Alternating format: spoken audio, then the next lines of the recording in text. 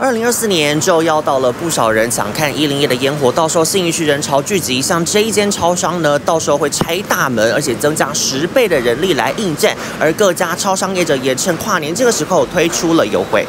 这一波跨年商机，四大超商都主打饮品，像是 Seven Eleven 农村美式买七送七，黑糖真奶买四送三。全家的顾客使用 App 优惠券，美式跟单品拿铁买一送一。而 OK 超商的庄园及美式或拿铁同品项买二送一。进义区有没有觉得特别挤？有啊，有啊。所以不敢来。呃，对啊，应该是有需求就会想才会想要。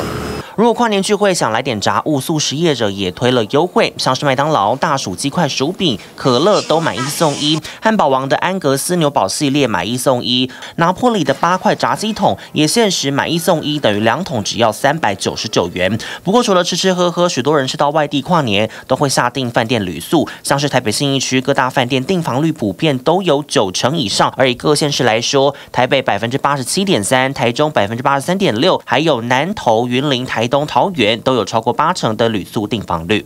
住 Airbnb 哦，在哪里？呃，在附近，就是有休息，有出去玩一下，带孩子看，因为这是他们第一次回。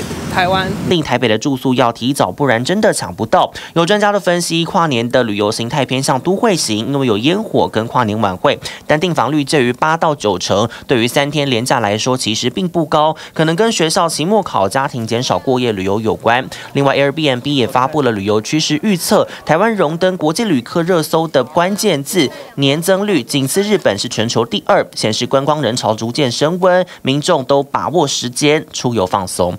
TVB TV。TVBS 新闻李正黄凯进台北上报道。想看最完整的新闻内容，记得下载 TVBS 新闻网 APP。